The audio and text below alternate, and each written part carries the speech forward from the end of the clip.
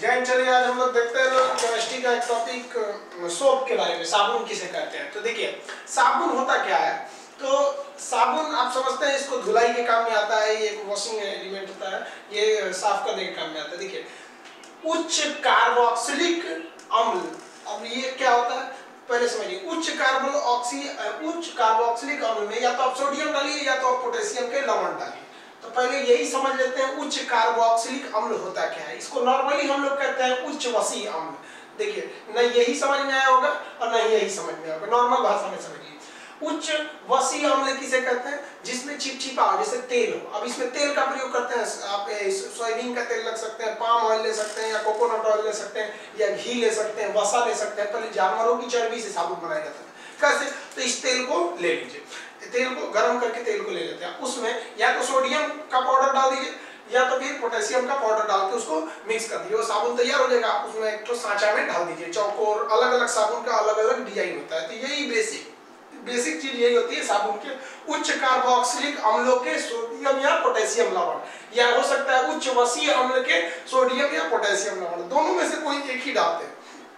या तो हम लोग सोडियम का प्रयोग करते हैं, या तो हम लोग पोटेशियम का प्रयोग करते हैं। देखिए अगर हम लोग सोडियम का प्रयोग करेंगे तो उसमें हम लोग NaOH डालेंगे इसमें, सोडियम अब ये साबुन जो हो जाता है हार्ड हो जाता है, बहुत टाइट हो जाता है। इसका प्रयोग हम लोग कपड़ा धोने में करते हैं, जैसे घड़ी साबुन हो गया सर्फ एक्सल हो गया टाइट वगैरह, वो जो होता है, वो हार्ड होता है। तो वो उसमें हार्ड साबुन में सोडियम का प्रयोग करते हैं। अब अगर हम पोटेशियम का प्रयोग करेंगे KOH पोटेशियम का KOH यानी पोटेशियम मिलाने से साबुन सॉफ्ट हो जाता है, इसका प्रयोग हम लोग स्नान करने या नहाने में हम लोग करते हैं। तो आप समझ सकते हैं दोनों में से क्वेश्चन पूछेगा, बताइएगा पोटेशियम का प्रयोग किस लिए होता है। अब साबुन का हम लोग नॉर्मल फॉर्मूला समझिए साबुन का जो फॉर्मूला होता है, वो आठ सी डबल एन ए होता है। R C double N A देखिए, यहाँ पर सोडियम या पोटेशियम चेंज नहीं होगा सोडियम या पोटेशियम चेंज करना है आर की वैल्यू में। आर क्या होता है? एक लंबा चेन होता है। अब आप सोचिए ना आर का फॉर्मूला तीन हो सकता है। तीन अलग अलग तरीके हो सकते हैं। तो ये देखिए डबल ओ एन ए रहेगा ये कार्बोक्सिलिक ग्रुप रहेगा आर की वैल्यू चेंज होगी, कैसे?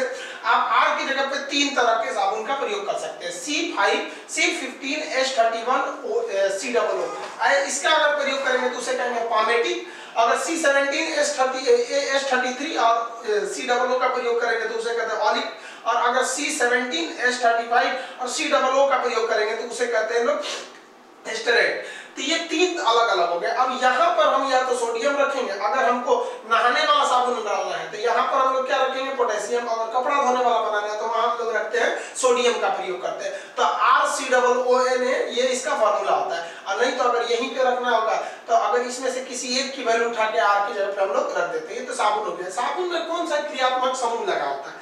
साबुन में जो क्रियात्मक समूह होता है, वो एस्टर होता है और तीन होते हैं। तो अतः उसे हम लोग कहते हैं ट्राई एस्टर साबुन ट्राई एस्टर होता है। साबुन के बारे में जो जनरल एग्ज़ाम में पूछे जाते हैं क्वेश्चन, उसके बारे में हम लोग समझते हैं, फिर हम लोग समझेंगे आगे। देखिए, साबुन में नमक मिलाना ज़रूरी होता है, क्योंकि साबुन में नमक जो होता है, वो साबुन को गलाता है, वही घुलने में सहायक होता है। अगर नमक की मात्रा कम रहेगी तो जल्दी साबुन घिसेगा ही नहीं।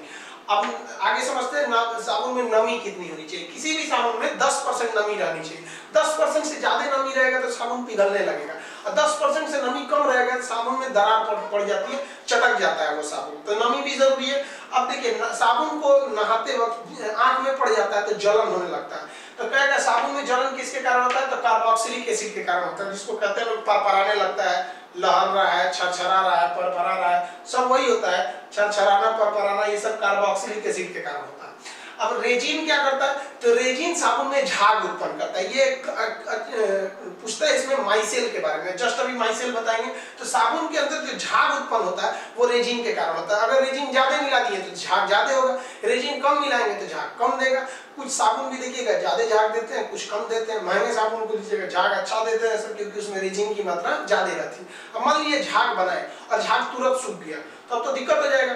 तो उस झाग, बने हुए झाग को सूखने नहीं देना चाहिए, जल्दी नहीं सूखने चाहिए। तो उसके कंट्रोल करता है गिल्सरॉल गिल्सरॉल क्या करता है? बने हुए झाग को सूखने नहीं देता है। गिल्सरॉल की मात्रा ज़्यादा रहेगा तो झाग जल्दी सूखेगा नहीं। और साथ ही साथ साबुन पारदर्शी होने लगता है। जैसे आप पियर साबुन देखे होंगे, वो पारदर्शी रहता है तो उसमें ग्लिसरॉल की मात्रा ज़्यादा रहती है तो साबुन को वो पारदर्शी बना देता है। बाकी साबुन में अलग अलग रंग डाल देते हैं अलग अलग रंग के साबुन हो सकते हैं। कभी कोई लाल साबुन होता है तो कोई पीला, कोई सफ़ेद, कोई हरा अलग अलग टाइप के साबुन होते हैं। लेकिन एक चीज़ देखे होंगे, सारे साबुन का जो झाग होता है, वो सफ़ेद ही होता है। तब हम लोग इसको समझते हैं, साबुन के झाग के बारे में। कैसे इसका वर्किंग प्रिंसिपल होता है, उसको हम लोग देखते हैं। जब तक आप इसको समझ गए होंगे, इसका आप एक स्क्रीनशॉट लीजिए जब देखिए, साबुन का हम लोग ना वर्किंग प्रिंसिपल समझते हैं कि साबुन कैसे साफ़ करता है। तो साबुन अभी हम आपको बताया उसमें कार्बन की एक लंबी श्रृंखला होती है। साबुन के कार्बन की लंबी श्रृंखला में एक सिरा जो होता है, वो उसे कहते हैं हाइड्रोफोबिक आप समझते हैं हाइड्रोफोबिक का मतलब क्या होता है? पानी से जिसे डर लगता है। फोबिक मतलब तो डर लगता है। तो ये वाला हिस्सा पानी से टच में नहीं रहता ये डस्ट के टच में जाता है। तो कपड़े में जितना भी गंदगी रहता है जो हाइड्रोफोबिक सिरा होता है, वो क्या होता है? डस्ट से चिपक जाता है। और इसी कार्बन की लंबी श्रृंखला का एक सिरा होता है हाइड्रोफिलिक ये हाइड्रोफिलिक इसमें पानी फील हो जाता है, भर जाता है। तो एक सिरा पानी से चिपक जाता है। और जब हम लोग कपड़े को रगड़ते हैं तो झाग बनने लगता है और उसी झाग में एक होता है हाइड्रोफोबिक और एक होता है हाइड्रोफिलिक एक धूल को पकड़े, एक साबुन, एक पानी को पकड़े।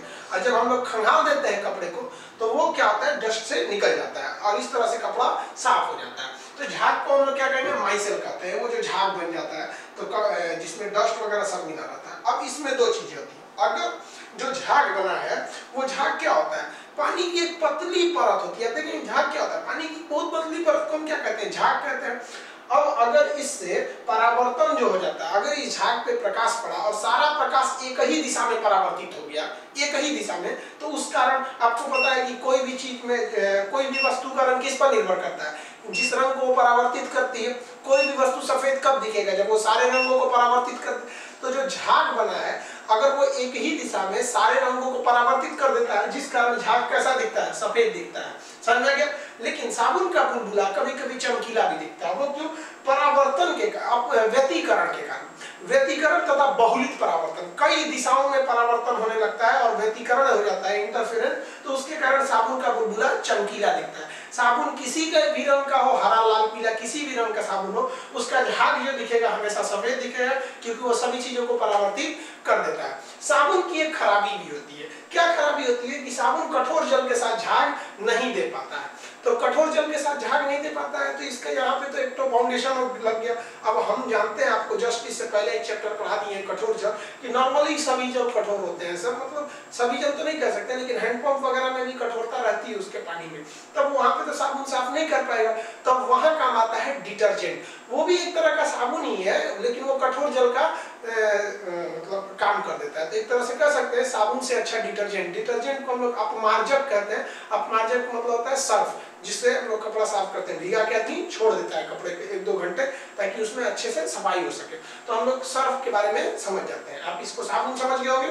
एक इसका स्क्रीन लीजिए, फिर हम लोग सर्फ के बारे में पढ़ते हैं देखिए हम लोग डिटर्जेंट या अपमार्जक के बारे में समझते हैं जो जिसे हम लोग नॉर्मल भाषा में सर्फ कहते हैं। ये कपड़े को ज़्यादा अच्छा धुलता है। कब जब कप, जल में कठोरता रहती है तब। नॉर्मल हम लोग के यहाँ जो पानी है वो कपड़े धुलने वाला वो कठोर ही होता है। अब ये किससे बनता है? ये बनता है उच्चतर अल्केन सल्फोनिक या फिर एल्किल हाइड्रोजन सल्फेट का सोडियम लवण होता है। ये इसमें बनाया जाता है। इसका फॉर्मूला देखिएगा C18H29NaO3S ये इसका फॉर्मूला हो गया यहाँ पे। डिटर्जेंट को जो हम लोग सर्फ से अच्छा डिटर्जेंट को साबुन से अच्छा माना जाता है। आपसे एग्ज़ाम में एक बार पूछा था सोडियम लॉरिल सल्फेट क्या है? तो सोडियम लॉरिल सल्फेट क्या चीज़ है वो ये? तो ये देखिए, ये एक अपमार्जक है। ये आप, अगर पूछेगा सोडियम लॉरिल सल्फेट क्या तो अपमार्जक है। आप साबुन और डिटर्जेंट में अंतर समझ गए होंगे। चलिए नेक्स्ट हम लोग अगले वीडियो में समझ